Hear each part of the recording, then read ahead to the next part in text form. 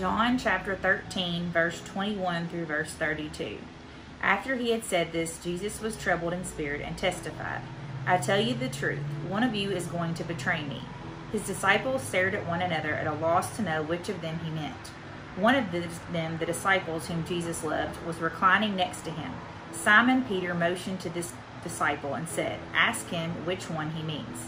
Leaning back against Jesus, he asked him, Lord, who is it?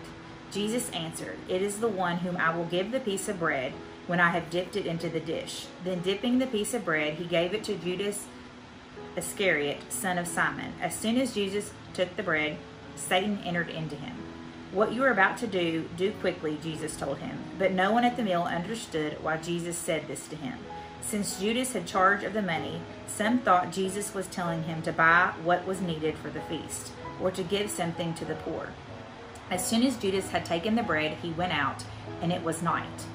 Jesus predicts Peter's denial.